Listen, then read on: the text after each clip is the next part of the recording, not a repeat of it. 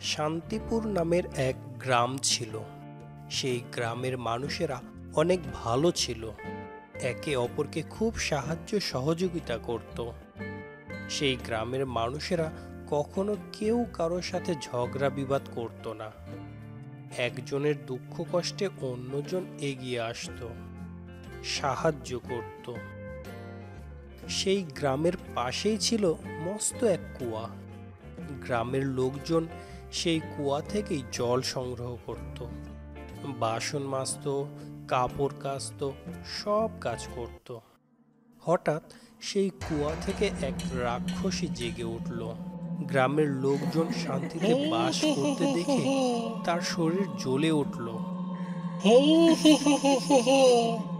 এই গ্রামের লোকজন কত শান্তিতে বসবাস করছে।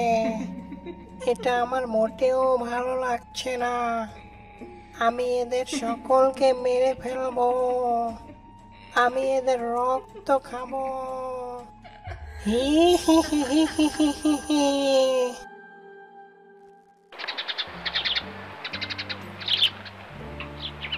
পরের দিন গ্রামের মেয়েরা নিজেদের কাজ করার জন্য যখন কুয়া থেকে পানি তুলতে লাগল তখন সেই রাক্ষসী আবার জেগে উঠল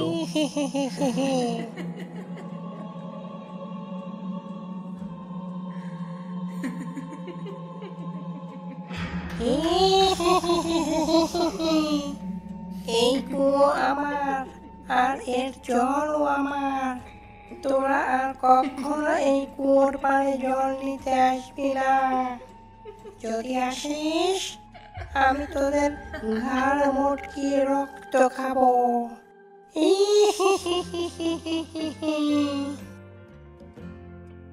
এটা দেখে গ্রামের মেয়েরা খুব ভয় পেয়ে গেল। তারা সেখান থেকে দ্রুত পালিয়ে গ্রামে চলে এলো আর গ্রামের সকলকে ডাকলো। শোনো শোনো তোমরা সবাই শোনো। কে কোথায় আছো? কি হয়েছে? তোমরা এত ভয় পাচ্ছ কেন? আজ একটা ভয়ঙ্কর ঘটনা ঘটেছে। তোমরা এত ভয় পেও না। কি হয়েছে আমাদের বলো। আজ যখন আমরা গ্রামের কুয়োতে জল আনতে গেলাম তখন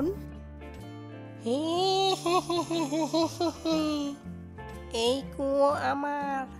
আর এর জলও আমার।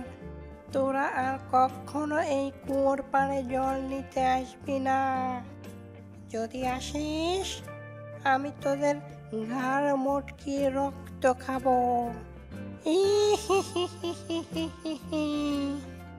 এই ঘটনা শোনার পর গ্রামের সকলে ভয় পেয়ে গেল। বলা বলি করতে লাগল আর দুশ্চিন্তা করতে লাগল।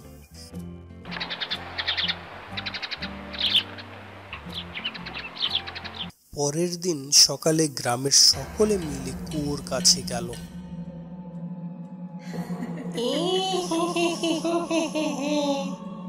তোরা সকলে মিলে কেন মরতে এসেছিস? আমি তো সব বলেই দিয়েছি। তুমি কি চাও? তুমি এমন করছ কেন? তুমি যা চাও তোমাকে তাই দেব। তাও তুমি এই গ্রাম ছেড়ে চলে যাও। যা চাই তাই দেবে। হ্যাঁ হ্যাঁ বলো তুমি কি চাও? তবে তোদের সকলের একটি করে বাচ্চা আমাকে দে। আমি এখান থেকে চলে যাব। গ্রামের সকলেই বলতে লাগল তা কি করে হয়?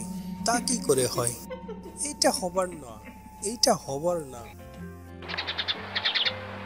কি করা যায় সেই সিদ্ধান্তে বসল সকলে। এক একজন এক একটা উপায় বলল। কিন্তু কারও উপায় গ্রহণযোগ্য হলো না। একজন বলল, আমরা গ্রামের কয়েকজন যুবক ছেলে আজ রাতে সেখানে যাব। তারপর কুয়ো ভেঙে ও মাটি দিয়ে কুয়ো বন্ধ করে দেব। তাহলে সেই রাক্ষসী কুয়োর ভিতরে মরে যাবে। গ্রামের সকলে এই প্রস্তাবে রাজি হলো। সেই মতো কুয়া ভেঙে ও মাটি দিয়ে সেই কুয়া বন্ধ করে দিল। কিন্তু সে রাক্ষসী মরল না। সে কুয়োর ভেতর থেকে চেঁচিয়ে বলল আমি মরি নাই আমি মরি নাই। আমি তোদের এমন এক রোগ দিলাম যে রোগে তোরা চোদ্দ দিন বাঁচবি। আর এই চোদ্দ দিন তোরা এই রোগ একে অপরকে ছড়িয়ে দিবি।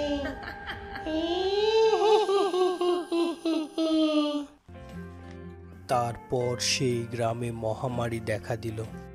অনেক লোক মারা গেল। গ্রামের লোকজন বুঝতে পারল না কেন এমন হচ্ছে। তাই সকলে মিলে সাধু বাবার কাছে গেল। সাধু বাবা লোকজনের কথা শুনে ধ্যানে মগ্ন হলেন। ধ্যান ভাঙার পর বললেন, আমি দিব্য দৃষ্টির মাধ্যমে সব দেখেছি। ওই রাক্ষসী এই রোগ সৃষ্টি করেছে। সে একটি ভাইরাস ছড়িয়েছে, যার নাম করোনা ভাইরাস। আর এর থেকে যে অসুখ হয় তার নাম কোভিড নাইন্টিন এই রোগ থেকে আমরা বাঁচবো কি করে বাবা? এই রোগের কোনো প্রতিষেধক নেই। তাই এই রোগ থেকে বাঁচার একমাত্র উপায় হচ্ছে সচেতনতা। জানতে হবে এবং মানতে হবে। প্রথমে জানতে হবে কীভাবে ছড়ায়। হাঁচি ও কাশির মাধ্যমে ভাইরাস আক্রান্ত হাতে চোখ, মুখ ও নাক স্পর্শ করলে আক্রান্ত ব্যক্তির সংস্পর্শে আসলে। লালা অথবা হাঁচির মাধ্যমে এই রোগে আক্রান্ত হওয়ার লক্ষণ সর্দি, কাশি এবং জ্বর, প্রচণ্ড গলা ব্যথা, শ্বাসকষ্ট এবং ডায়রিয়া। প্রতিরোধের উপায়। সচেতনতাই এই রোগের একমাত্র প্রতিরোধের উপায়। নিয়মিত অন্তত ২০ সেকেন্ড সাবান দিয়ে হাত ভালো করে ধুতে হবে। হাত দিয়ে নাক, চোখ, মুখ স্পর্শ করার অভ্যাস ত্যাগ করতে হবে। কাশি দেওয়ার সময় রুমাল বা টিস্যু ব্যবহার করতে হবে। রান্না করার ক্ষেত্রে ভালোভাবে ধুয়ে এবং উচ্চ তাপমাত্রায় রান্না করতে হবে। কাঁচা বা আধা কাঁচা মাছ, মাংস বা তরকারি খাওয়া যাবে না। কোনো ধরনের হাঁচি কাশি হলে মাস্ক ব্যবহার করতে হবে। সবসময় ঘরে থাকতে হবে এবং নিরাপদে থাকতে হবে। বাইরে বের হলেই মাস্ক ব্যবহার করতে হবে। ভিটামিন সি জাতীয় খাবার বেশি বেশি খেতে হবে।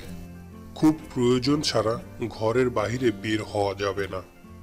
তার আগে তোমাদের একটি কাজ করতে হবে। কি বাবা?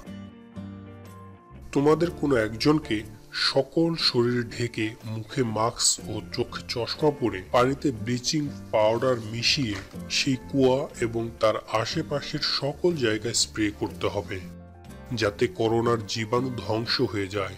তারপর তাকে সাবান দিয়ে ভালো করে স্নান করে চোদ্দ দিন অন্য কারোর সাথে দেখা করা যাবে না।